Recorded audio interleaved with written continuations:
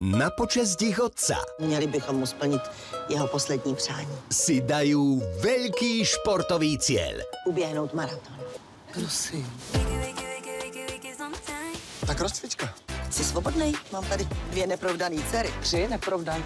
Že ti ten tvůj šikula udělal tři děti a do dneška tě nepožádal o ruku, to je tvůj problém.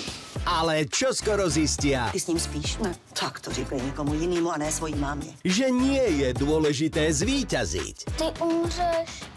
Jsem ti říkal, že to běhání není pro tebe. ale nájsť šťastie Dívala bych se ti takhle. Tlustá.